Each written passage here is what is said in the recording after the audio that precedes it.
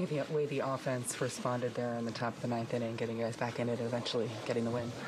Yeah, that was huge. Um, you know, just one of the many reasons I think this what makes this team special.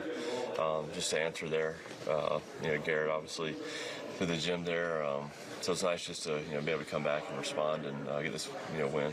How frustrating was that eighth inning for you? Yeah, um, you know, probably just one pitch maybe there to Mejia. I wish I could have back, but um, just a couple little knocks that um, you know just found a way to you know either get the right guy in or um, get a hit. So um, a couple unlucky you know bounces, but um, I don't know. They just did a good job of putting the bat on the ball when they needed to. Hey,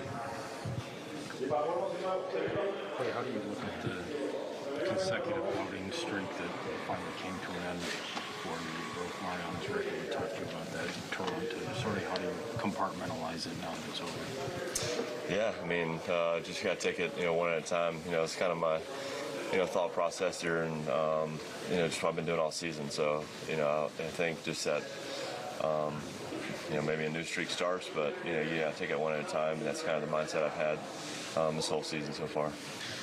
Well, you've known Gerrit for a very long time. Does it surprise you that he doesn't have a no hitter yet?